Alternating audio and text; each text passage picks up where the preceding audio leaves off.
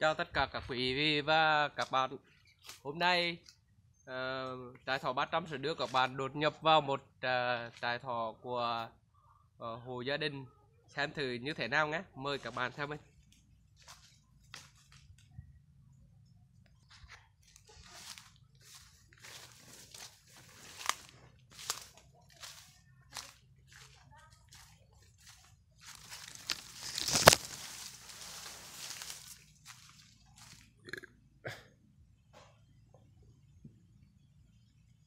Đây.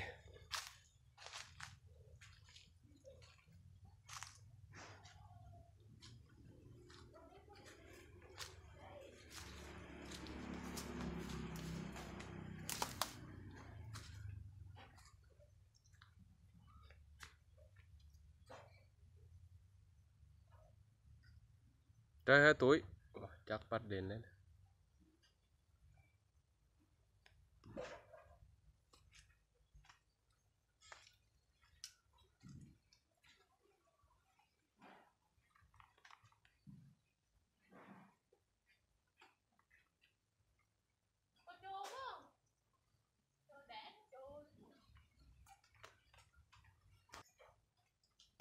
Đây đây là bài thổi trụ bì đấy các bạn.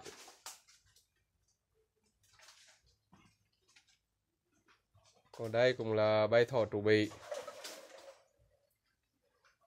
và được uh, thiết kế uh, một cái hệ thống cho ăn uh, và uống nước thật là khoa học các bạn.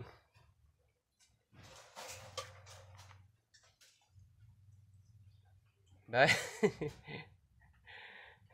đây là một hệ thống ờ, uống nước tự động rất là hiện đại.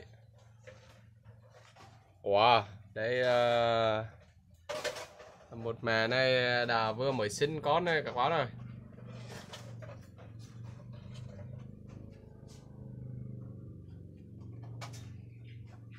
Đây. Đây mẹ đây vừa mới sinh con.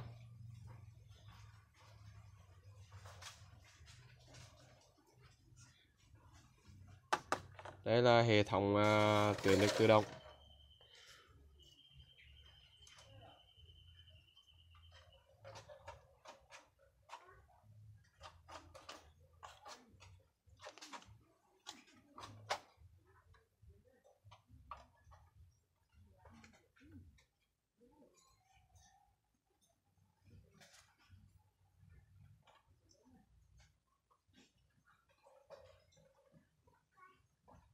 Hiện nay là cái chuồng trại này là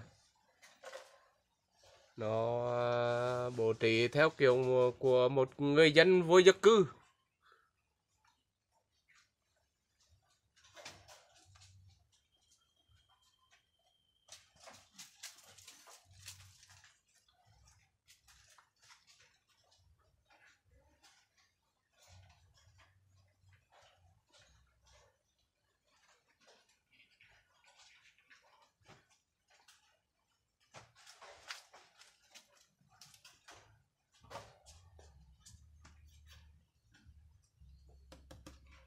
Đây thọ trụ bị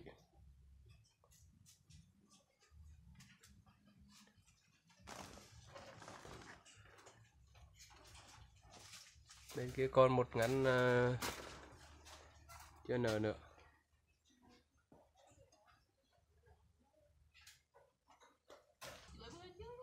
ừ.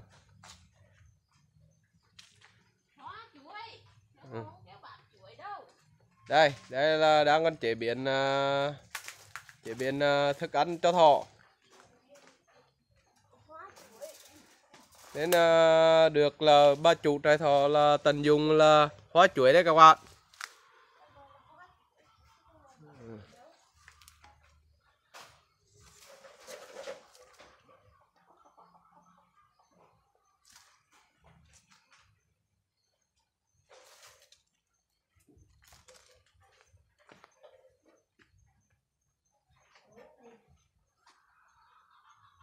và đúng bây giờ là bà chủ à, trại thỏ đang còn à, à, tiến hành là chó thỏ ăn với à, hóa chuối của mình.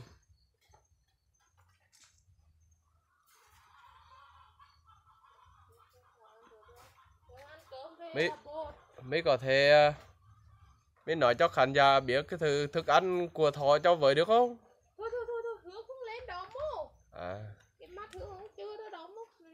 À rồi thì mới nói thôi được. Đều tao không quay mắt à rồi mới nói đi. Tao quay đi bơ mới nói gần gần cái này. Hướng nói được hế. Hướng hướng cho ăn bột về ra cơm đó. Ờ để, để ta hướng cho ăn bột rồi. à, để mình hỏi ờ, bí quyết của bà chủ ờ, trại thọ ờ, cho thức ăn ờ, gì các bạn à bà chủ cho hỏi là thức ăn gì bà chủ? Thì ăn đây là ăn hoa chuối ăn rau ăn là chuối à, chứ cái mưa đây lên thì ăn bột nấu thêm cơm. À. Còn rau thì khỏi trộn cơm mà không có rau thì trộn cơm vô cơm thì cơm gạo À. bọt. Cơm gạo bọt là nấu ra lời hơn là cơm gạo trắng mình ăn. À. rồi thôi. Thì uống nước. À, rất là cảm ơn à, bà chủ trại thọ đã chia sẻ những cái bí quyết là của mình. À, chúc là bà chủ là, là sau này sẽ là có một là trại thọ là hoành tráng và rộng hơn.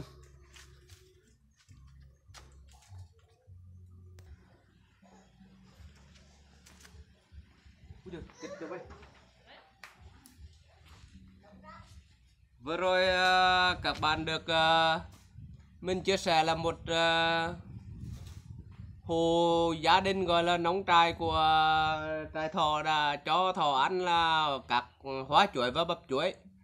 à, tiền thể đây là khi các bạn là lên comment và review hãy à, cho là trại thọ 300 một like và còn à, khi à, khi trên diễn đàn của trại thọ 300 các bạn có nhu cầu là để à, phát triển chương trình lịch là trại thọ thả thọ về rừng thì có thể là comment cho mình để là mình còn biết là khán giả của trại thọ 300 để mà biết được địa chỉ và hỗ trợ.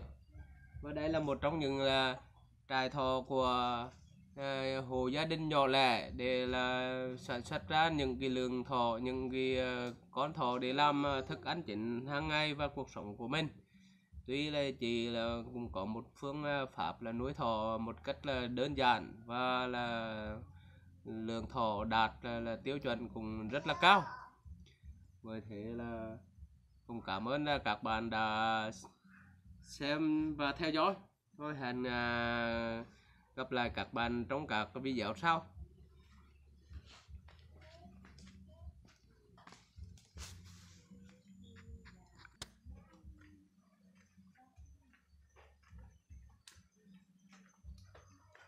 Để đó có cái đực mô khỏe khỏe để đó rồi. Ta chọn con hai con cả úng nữa đang thiếu thôi nhá ờ.